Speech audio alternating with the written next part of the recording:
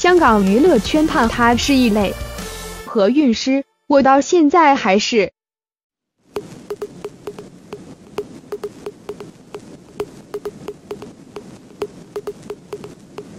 何韵诗承认，如今已没想要把自己练成钢铁了。现在人大了，笑，不要练成钢铁，要变成更有弹性的物料。小时候你就会想要硬挺。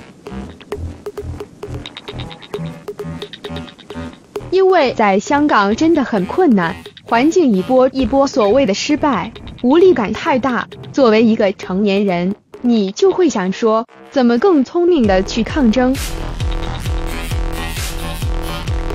人类发明了度量衡，去判定人有许许多多的类别，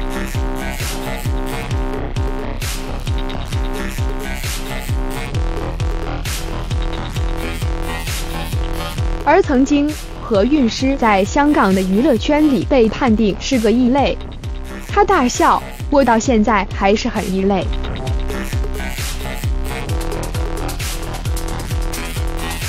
但活住，他就不想只见四季更迭，或任凭琐碎于日常之中流过。